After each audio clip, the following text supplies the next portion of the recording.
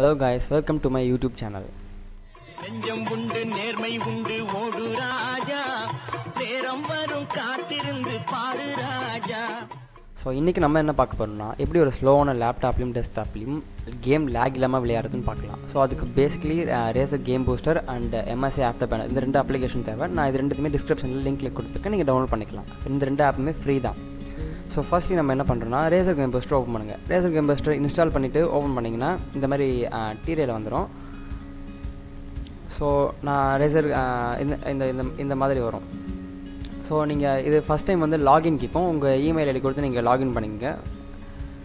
And then இங்கே என்ன பண்ணுறீங்க இங்கே ஒரு ப்ளஸ் சிம்பிள் இருக்குது பார்த்தீங்களா இங்கே ப்ளஸ் சிம்பிள் கொடுத்தீங்கன்னா இங்கே ப்ரௌஸ் கேம் உங்கள் கேம் ஷார்ட்கட்டோட டேரக்டரி கேட்கும் நீங்கள் அதை செலக்ட் இங்கே ப்ரௌஸ் கொடுத்து செலக்ட் பண்ணிக்கங்க. செலக்ட் பண்ணிக்கிட்டிங்கன்னா ஆட் கொடுங்க ஆட் கொடுத்தோன்னா இந்த மாதிரி வரும்.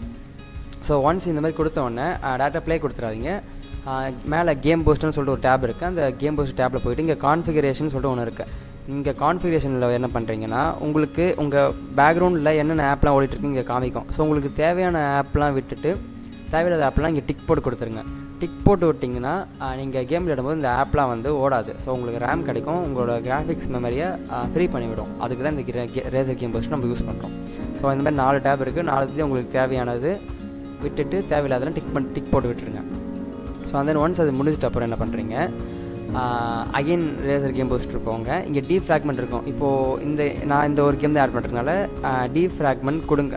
எதுக்கு இந்த டீ ஃப்ராக்மெண்ட் கொடுக்குறோன்னா நம்ம இன்ஸ்டால் பண்ண கேம் பார்த்தீங்கன்னா உங்கள் ஹார்ட் டிஸ்கில் தனித்தனியாக சேவ் ஆகிட்டு இருக்கும். ஒரு யூனிஃபார்மாக இருக்காது. இந்த டீ ஃப்ராக்மெண்ட் கொடுத்து கொடுத்தீங்கன்னா உங்கள் ஃபைல் எல்லாமே ஒரு ஆர்டராக அரேஞ்ச் பண்ணுறோம் ஸோ அதனால் உங்கள் ப்ராசஸரால் ஈஸியாக அதை ரீட் பண்ண முடியும். அதுக்கு தான் இந்த டீ ஃப்ராக்மெண்ட் ஸோ உங்களுக்கு ஃபாஸ்ட்டாக இருக்கும். ஸோ டீ ஃப்ராக்மெண்ட் கொடுத்தீங்கன்னா உங்களுக்கு ஃப்ரேம்ஸ் கொஞ்சம் எக்ஸ்ட்ரா கிடைக்கும். லோடு சீக்கிரமாகிடும் ஸோ ஒன்ஸ் நீங்கள் இது ரெண்டுத்தையும் பண்ணிட்டோம். ஒன்று என்ன பண்ணுறீங்க இங்கே கேம்ஸ் போய்ட்டு ப்ளே கொடுத்தீங்கன்னா ஆட்டோமேட்டிக்காக எந்தெந்த ஆப்லாம் நீங்கள் டிக் கொடுத்தீங்கன்னா அதெல்லாம் ஸ்டாப் ஆகிட்டு உங்களுக்கு கேம் ஆட்டோமேட்டிக்காக ப்ளே ஆகும். இப்போது இன்டெல் கிராஃபிக்ஸ் இருக்குது பார்த்தீங்களா அவங்க இதை யூஸ் பண்ணலாம். கிராஃபிக் கார்டு இருக்கவங்க இது யூஸ் பண்ணலாம்.